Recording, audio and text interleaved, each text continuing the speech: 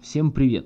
Сегодня мы посмотрим, как быстро и просто сделать GIF файл из видео. Вот, GIF файлы используются много где, и как аватарки, и как небольшие превью к видео, то есть там YouTube и подобные сайты, на которых много видео, вам иногда, особенно в мобильных приложениях, при наведении там или выставлении этого видео по центру может подсовывать гифку, в которой мы можем видеть, э, какие кадры содержатся в данном видео.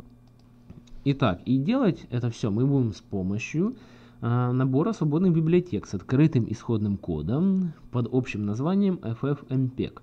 Вот, FFmpeg доступный под Windows, Linux и Mac OS. Изначально он был разработан э, на основе для операционных систем на основе Linux, но дальше он был скомпилирован э, под другие операционные системы.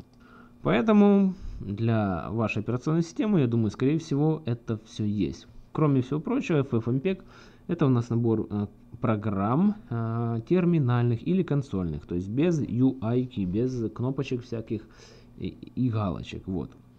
И много э, хороших программ э, с юзер-интерфейсом основаны как раз вот на наборе этих свободных библиотек. Итак, что же, давайте продолжим, сделаем как бы пару гифок. Вот у меня есть скрипт, ну это здесь я проверяю входные параметры. Мне нужно указать ви э, имя видеофайла, из которого будем делать гифку, и имя выходящего э, файла, то есть с расширением GIF. вот. И есть 4 переменных. Skip seconds. Это пропускаем первые n секунд. В данном случае первые 3 секунд будут пропущены. Дальше. Это длина выходящей гифки. То есть в данном случае это 6 секунд будет длиться наш GIF файл, то есть анимация.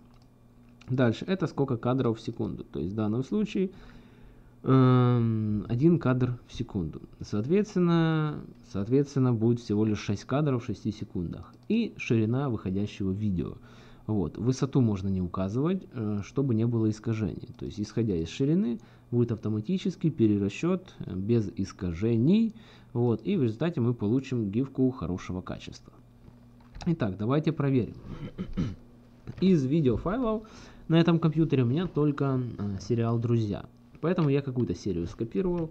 По-моему, это шестая. И давайте попробуем запустить.